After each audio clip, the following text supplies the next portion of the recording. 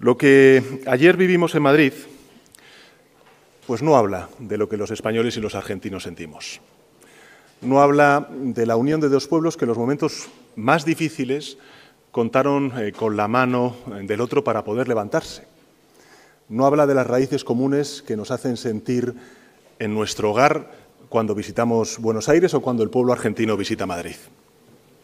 Por eso quiero decir que soy plenamente consciente de que quien ayer habló no lo hizo en nombre del gran pueblo argentino.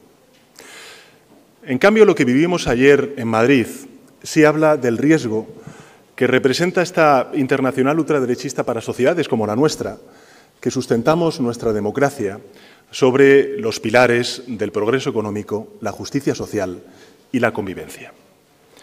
España y Argentina son dos países hermanos, somos dos países hermanos cuyos pueblos se quieren y se respetan. Esta ha sido mi convicción desde que os tengo la alta responsabilidad de ser presidente del Gobierno de España. Evidentemente, entre los gobiernos los afectos son libres, pero el respeto es irrenunciable. Por eso hemos pedido al actual presidente del Gobierno de la República de Argentina una rectificación pública y, en consonancia, la respuesta del Gobierno de España será acorde a la dignidad que representa la democracia española y a los lazos de hermandad que unen a España y Argentina, ahora mismo presididos por un presidente que, por desgracia, no ha estado a la altura con sus declaraciones. Y en clave nacional sí me gustaría hacer dos reflexiones a mis conciudadanos. La primera tiene que ver con que defender las instituciones españolas de insultos y de difamaciones que eventualmente puedan hacer mandatarios extranjeros no entiende de peros, porque más allá de la ideología está la educación y el patriotismo.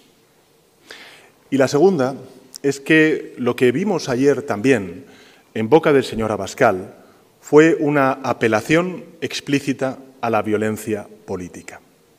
Decir que hay que sacar a patadas y a garrotazos a un gobierno, mejor dicho, voy a ser mucho más concreto y preciso.